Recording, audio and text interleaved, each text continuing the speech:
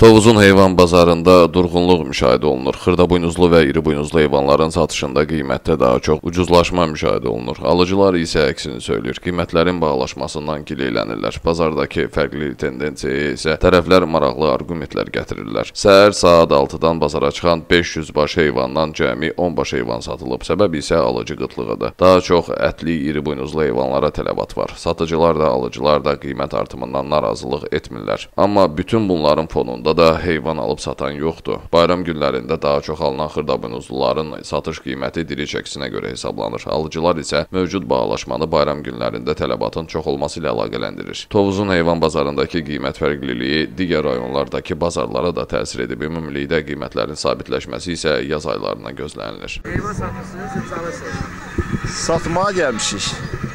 Yəni bax alıcı qabiliyyətindən razısınız. Yox, zəifçilikdir, çox zəifçilikdir alıcı qabiliyyət. İndi bunu satırsınız. Hə, iri buynuz.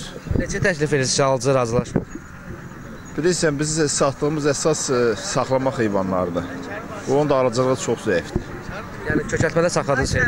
Hə, sağ ol. O da otun yemin baha olmağına görə alıcılıq çox zəifdir. Yəni məsələn bax yay ilə ə, əlaqədar, yəni əvvəlki vaxtlarla ə, müqayisədə qiymətdə nə qədər artım var? Artım yox, azalma var.